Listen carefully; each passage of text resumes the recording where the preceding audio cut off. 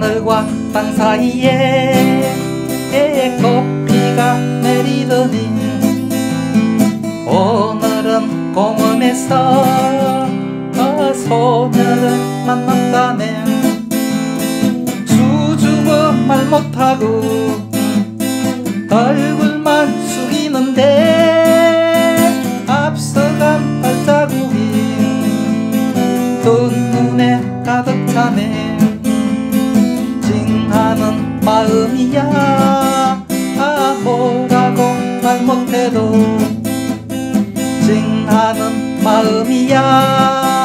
아 괜시리 설레는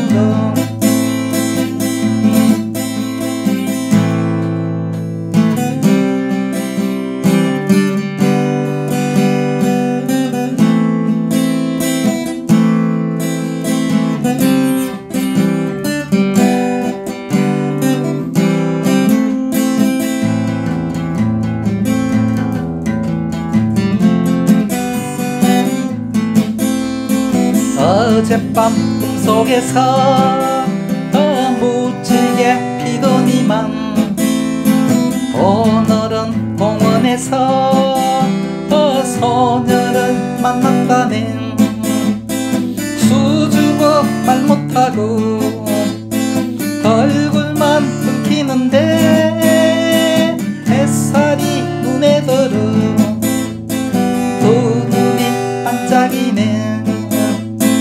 징하는 마음이야 아 뭐라고 말 못해도 징하는 마음이야 아 괜시리 설레는 건